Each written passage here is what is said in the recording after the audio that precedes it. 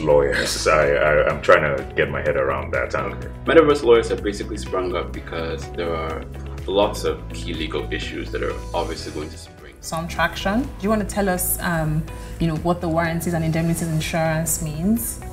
So warranties and indemnities insurance is a specialized type of insurance product uh, which allows the policyholder to make it.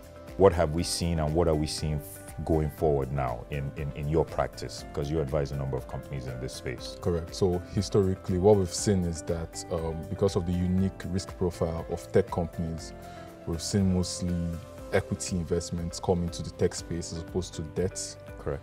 And even within the universe of equity investors, you then see different buckets of equity investors depending on their risk appetite and their. Um, the Act also makes um, provisions for very limited grounds. Um, so when you are challenging an award, uh, you are not the court is not sitting as an appeal, appellate court over, over the award. award again. So the okay. court is not coming to determine whether the award was rightly decided or wrongly decided. Whether the um, in fact the, the the the aphorism for it is you sink or swim with your arbitrator. Yeah, so, I think I've, I've heard people say that whatever your arbitrator decides